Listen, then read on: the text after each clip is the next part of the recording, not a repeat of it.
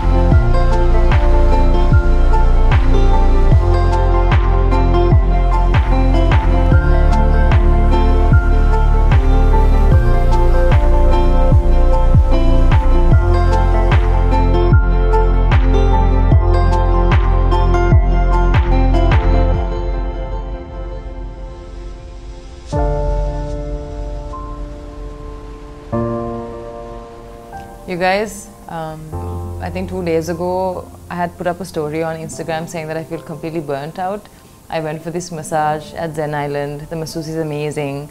Um, even while being at this place, even while getting a massage, I can't relax because I'm constantly focusing on work to a point where I feel like I need to take a break. If not, my body's gonna get sick. So yesterday when we came, nothing was working out for me. Like my phone kept crashing on me. I couldn't take pictures, I couldn't create content. Everything I was trying was failing. So I took it as a sign to slow down and not do anything at all. So yesterday we just relaxed, didn't create any content at all. Literally just playing out in the ocean. Uh, Yohan and I worked out. We ran for like a good hour or so.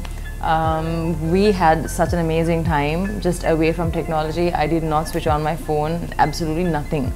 So today we just created the first video, a piece of content about books that changed my life. So you're gonna love it. Um, I'm, I'm sharing my top six books that I love of all time. Um, and they actually have set up breakfast in a little plunge pool and we're gonna take some pictures and probably not not really chase content we're gonna make content happen you know i'm gonna take a break you guys